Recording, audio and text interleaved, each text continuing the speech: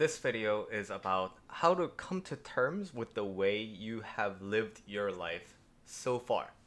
So, people have regrets about how they lived, and that's a very common thing um, because you know we all want the best for ourselves. We want our lives to be brilliant. We want our lives to be meaningful, and our past choices they get in the way of thinking that because they differ from what we think now. So, for example, I used to smoke cigarettes, and um, when I'm having cardio problems at my gym, when I'm sparring other people, and I feel really gassed out, I regret a lot. Oh, I shouldn't have smoked. And um, you know, if you had addiction problems before, you probably have a lot of regret about like your past um, in substance abuse and a lot of people, um, especially males these days, have um, regrets about their masturbation habits. Relationships is also a great uh, place for regrets. Oh, I should have treated this person better. I should have not dated this person. Blah blah blah. Or I should have treated. I don't know. You you get the drift, right? So, very common issue in um, our brain is to really glorify what could have been instead of what has been.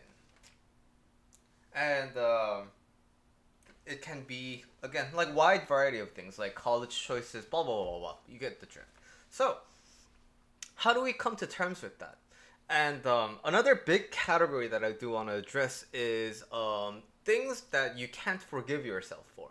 A lot of people come to coaching because they can't forgive themselves. So, for example, like weight loss is um, not only just your you know regrets about um, your dietary habits but also like not being able to forgive yourself for getting into such a like problematic state. Like oh i'm so obese and i can't forgive myself for that.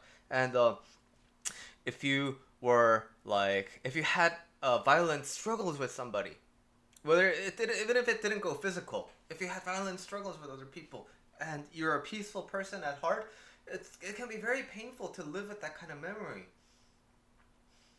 And if I'm being a little more like um you know if the raise, stakes are raised a little bit high like uh when family members pass away, or when friends um leave your life, you have a lot of regrets about how you acted towards them and what that caused some things to be irre- irreparable, and that hurts so how do we come to terms with that? And that is so again, the base fundamental um, foundation is that we are perfect. We are complete. Right? And so what we really need to evaluate is at the time of the past decisions you already evaluated everything that you could have thought of. And you decided on the decision that you made. And at that time, you weren't thinking, oh, you know what? This choice is better, but fuck that. I'm gonna go with the subpar choice. You weren't doing that. Every time you have a good choice, you are doing it. So, for example, like you may regret not studying hard enough to get to, into that really um, prestigious university. So you might think, well, I could have studied, but I didn't, and now I failed all my classes, and now my future is ruined. But what you're failing to realize is that your brain considered studying. And with studying, comes this immense amount of stress. With studying comes this lack of freedom. With studying comes this pressure that your brain doesn't want to deal with. With studying comes all this discomfort. With not studying comes a lot of joy. Yeah, it comes at the cost of your grades, but comes a lot with not studying comes a lot of freedom, a lot of alternative things you can do a lot of video games that can potentially be played, a lot of basketball games that can be played, a lot of socializing that you can do with your friends. So, to your brain, what's the better option? it's easy to look back and like, oh, I should have studied. But then at the time, studying must have been really hard and stressful for you. So we're failing to see the bigger picture because we're so used to looking at our lives with a critical lens.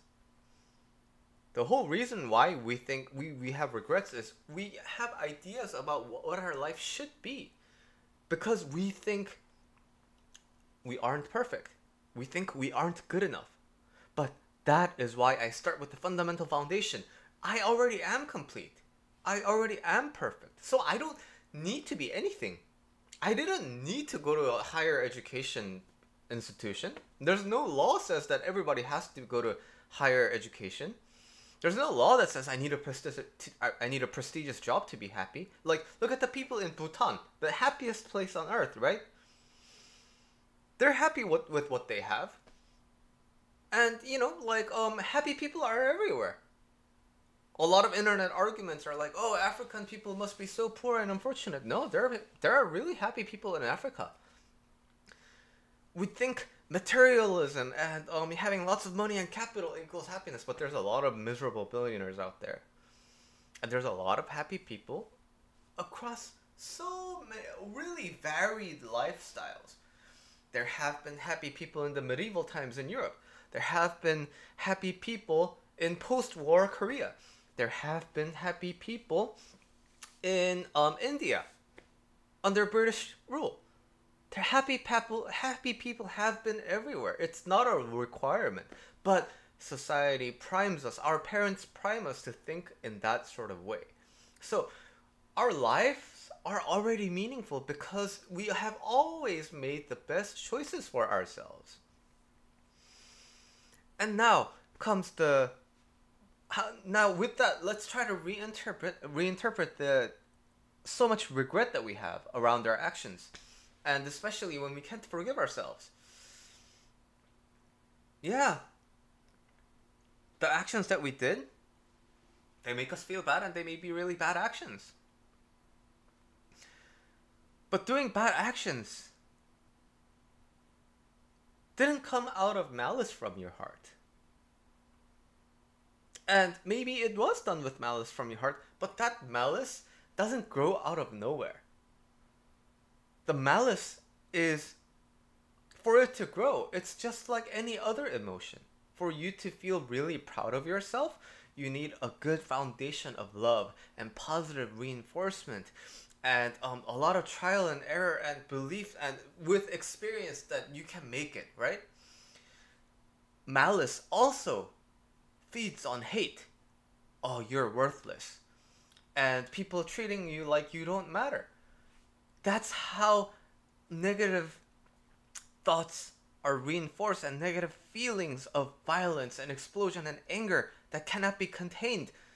It grows to an uncontainable state because it was fostered, it was growing. And it never had the chance to expel itself, it never had the chance to express itself. So mentally healthy people, they cry too, right?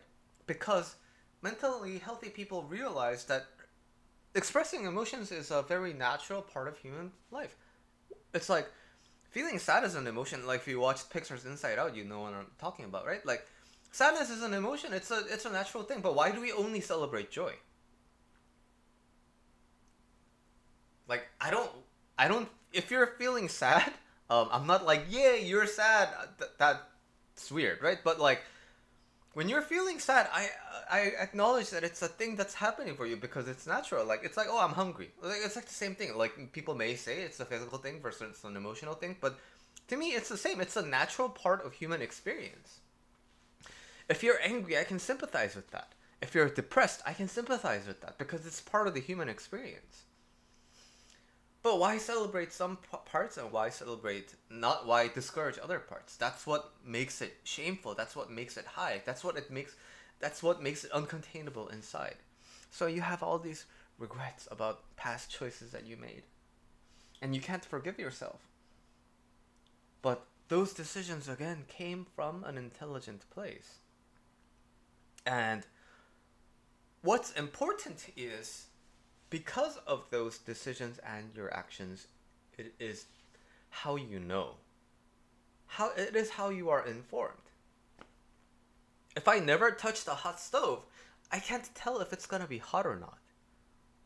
If I don't leave a stone unturned, I never know if it's if there's gold underneath there.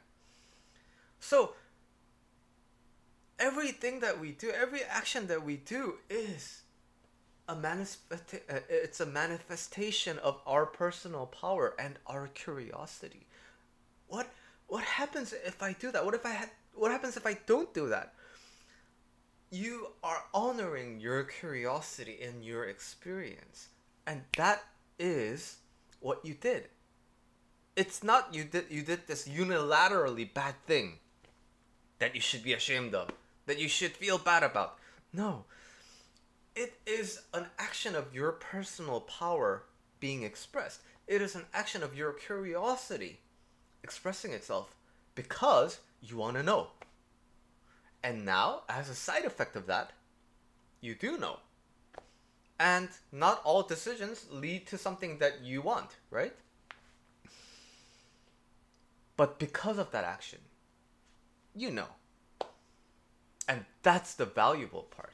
It doesn't just come with a pack of regrets, it comes with the really valuable experience of knowing what happens because that is gonna be what feeds your next experience. You have become wiser because of it. You can inform future decisions better because of it. So, I'm not really encouraging you to feel better about them or think positively about them. No, I understand. Some decisions can hurt. Some decisions can be really filled with a lot of regrets. I'm saying, yeah, accept that. And at the same time, it comes with a lot of other parts. So embrace the whole experience of that decision. Experience the whole package of the outcome of your choices and your actions in the past. That way, you're continuing to see yourself as a capable, perfect, and complete person.